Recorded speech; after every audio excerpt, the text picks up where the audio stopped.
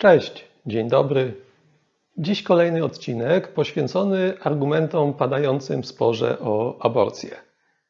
Po omówieniu dwóch argumentów równi pochyłej, używanych przez przeciwników przerywania ciąży, teraz zajmę się argumentem innego typu, argumentem wysuwanym czasem przez osoby, które uważają, że aborcja powinna być dozwolona. Będzie to argument dość znany, przynajmniej w kręgu filozofów i logików. Można powiedzieć, że to taki klasyk. Został on sformułowany przez filozofkę Judith Thompson, która przedstawiła go w wydanym prawie 50 lat temu artykule pod tytułem A Defense of Abortion. Jak widać, już tytuł wyraźnie pokazuje, jakie stanowisko w sporze o aborcję zajmuje autorka argumentu. Sam argument jest dość ciekawy, ponieważ ma on postać swoistego eksperymentu myślowego. Thomson proponuje otóż czytelnikowi wyobrażenie sobie pewnej fikcyjnej sytuacji i każe się zastanowić, jak w takiej sytuacji należałoby postąpić. Być może niektórzy dobrze znają wymyśloną przez Judith Thompson historyjkę, ale pewnie nie wszyscy, więc przytoczę ją tutaj w skrócie. Jestem więc sobie normalnym człowiekiem, wiodącym swoje spokojne życie, aż tu nagle trach. Film mi się urywa. Zostałem napadnięty i tracę przytomność. Budzę się w szpitalu i widzę coś bardzo dziwnego. Oto leżę w łóżku i przy pomocy specjalistycznej medycznej aparatury jestem połączony z jakimś obcym człowiekiem. Co się stało? Lekarze tłumaczą mi, że facet, do którego jestem podłączony, to znany skrzypek. Niestety jest on śmiertelnie chory. Nerki odmawiają mu posłuszeństwa. W związku z tym jego fani, zrzeszeni w Towarzystwie Miłośników Muzyki, postanowili mu pomóc. Przetrząsnęli wszystkie dostępne kartoteki medyczne i stwierdzili, że ja jestem jedyną osobą, która może go uratować. Mam bowiem takie same parametry krwi jak ów skrzypek. Jeśli przez pewien czas lekarze szacują ten okres na 9 miesięcy, skrzypek będzie korzystał z moich nerek, które będą filtrować mu krew, jego nerki w końcu wyzdrowieją i będzie on mógł wrócić do normalnego życia. I to właśnie dlatego członkowie Towarzystwa Miłośników Muzyki napadli mnie i nieprzytomnego podłączyli do chorego skrzypka. Trudno, stało się, mówią lekarze. Muszę to jakoś wytrzymać, bo jeśli nie, to skrzypek niechybnie umrze. Jak powinienem zachować się w takiej sytuacji? Czy mam obowiązek podtrzymywania przez 9 miesięcy życia innej osoby, która będzie w tym czasie korzystać z mojego ciała, czy też mogę przeciwstawić się temu? Zdaniem Judith Thompson mam prawo do decydowania. Mogę oczywiście wykazać się heroizmem i cierpieć 9 miesięcy, aby uratować życie skrzypka, ale mam też pełne prawo powiedzieć nie i odłączyć się od niego. Nie jestem w takiej sytuacji moralnie zobowiązany do tego, aby kosztem własnej wygody utrzymywać czyjeś życie. Jeśli mi się to nie podoba, mogę z czystym sumieniem odłączyć się od skrzypka, skazując go tym samym na śmierć. Zdaniem Thompson sytuacja kobiety, która zaszła w niechcianą ciążę, jest analogiczna do tej, w której znalazł się porwany przez Towarzystwo Miłośników Muzyki nieszczęśnik. Podobnie jak on, kobieta ma prawo do decydowania o tym, co dzieje się z jej ciałem. Nie ma, nie ma ona obowiązku, aby godzić się, żeby ktoś inny z jej ciała korzystał, nawet jeśli w konsekwencji ten ktoś straciłby życie. Jak należy ocenić argument Judith Thompson? Najpierw parę słów teorii. Otóż przedstawione przez autorkę argumentu rozumowanie jest niewątpliwie argumentem z analogii, który opiera się na następującym schemacie.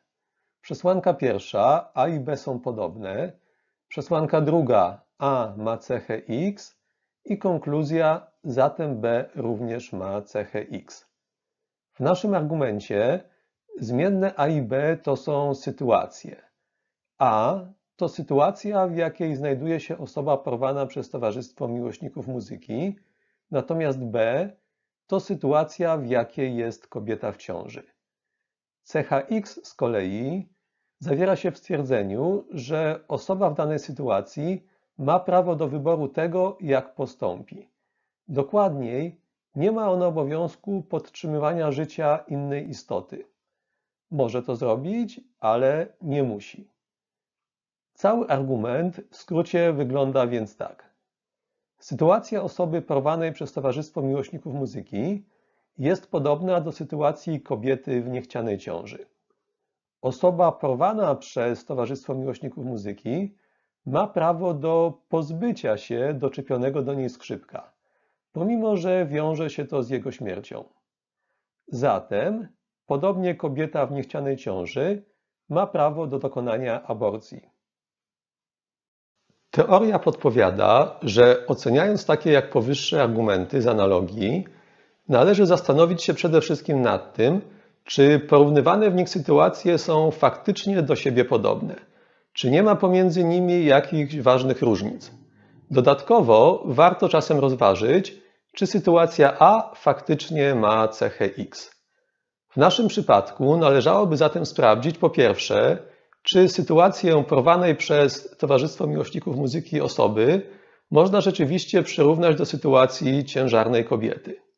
I po drugie, czy uprowadzony nieszczęśnik faktycznie ma prawo do decydowania o swoim, a w konsekwencji również o skrzypka losie. Jeśli w obu przypadkach odpowiemy jednoznacznie tak, to argument należy uznać za dobry i zgodzić się z jego konkluzją. Jeśli natomiast będziemy mieć gdzieś jakieś większe wątpliwości, to będzie to znak, że argument jest słaby. No to przyjrzyjmy się pierwszej sprawie, czyli podobieństwu między sytuacjami. Tutaj wielu komentatorów zwraca uwagę na fakt, że zachodzi pomiędzy nimi przynajmniej jedna ważna różnica. Otóż ofiara Towarzystwa Miłośników Muzyki została uprowadzona i przypięta do skrzypka podstępem, wbrew swojej woli. Natomiast większość kobiet zachodzi w ciążę, nawet nieplanowaną czy niechcianą, w konsekwencji własnych decyzji. Świadomie podejmują działania, które do ciąży prowadzą.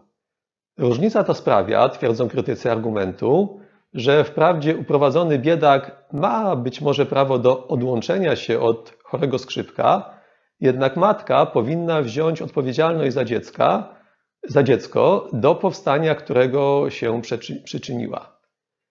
Aby uniknąć powyższego zarzutu, w wielu dyskusjach argument Thomson ograniczany jest jedynie do sytuacji, gdy ciąża powstała w wyniku gwałtu.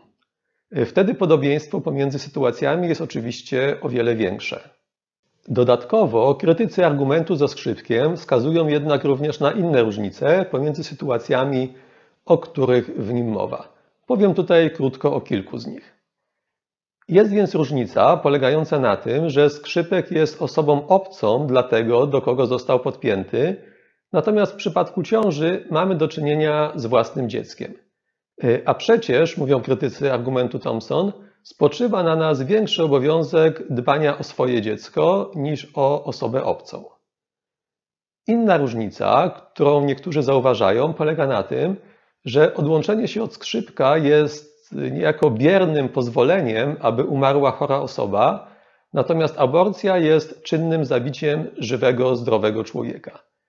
Y, tutaj jednak oczywiście trzeba założyć, że płód jest człowiekiem, na co pewno, na pewno nie wszyscy się zgodzą. Kolejna różnica. Y, bycie w ciąży jest naturalnym stanem człowieka, natomiast bycie przykutym do skrzypka naturalne na pewno nie jest. To pierwsze jest również zapewne o wiele mniej uciążliwe. Y, sprawia to, że odłączenie się od skrzypka możemy uznać za usprawiedliwione, a aborcję już nie. I to są chyba najczęściej wymieniane w dyskusjach nad argumentem tą są różnice pomiędzy sytuacjami opisywanymi w tym argumencie. Y, tutaj muszę koniecznie dodać na marginesie, że obrońcy argumentu Thomson starają się wykazać, że różnice te nie są wcale tak istotne i podpierają to kolejnymi dodatkowymi kontrargumentami, które mają za zadanie zbić argumenty przeciwników.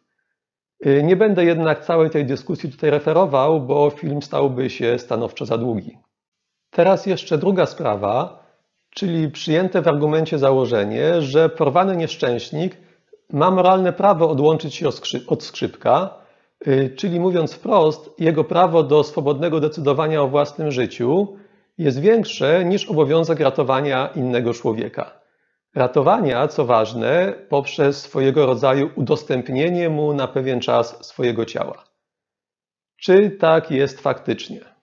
Mm, cóż, na to pytanie logika nie jest w stanie udzielić odpowiedzi. Jest to bowiem sprawa bardzo subiektywna, zależna od poglądów etycznych tego, kto rozważa taką kwestię. Jedna osoba będzie przekonana, że tak, inna powie, że nie. Y, I raczej nigdy się nie dogadają.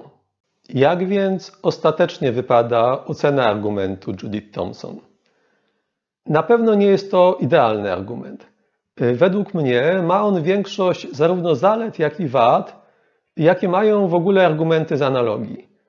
Z jednej strony daje on do myślenia, skłania do refleksji, zachęca do, do zastanowienia się, co ja tak naprawdę myślę o danej sytuacji. Y, rzuca też trochę nowego światła na dyskutowany problem. Y, z drugiej strony, analogia w zasadzie nigdy nie jest doskonała. Raczej nie można jej traktować jako rozstrzygającego argumentu, szczególnie w tak ważnej i kontrowersyjnej sprawie jak prawo do aborcji. Tak więc myślę, że warto o argumencie Thomson dyskutować. Warto spierać się o jego jakość, rozważając podobieństwa i różnice pomiędzy sytuacją człowieka porwanego przez Towarzystwo Miłośników Muzyki, a sytuacją kobiety w ciąży. Jest to na pewno ciekawe i rozwijające ćwiczenie intelektualne. Jednak przed podejmowaniem praktycznych decyzji na podstawie tylko takiego argumentu, y, mocno bym przestrzegał. I to tyle na dziś. Do zobaczenia i usłyszenia.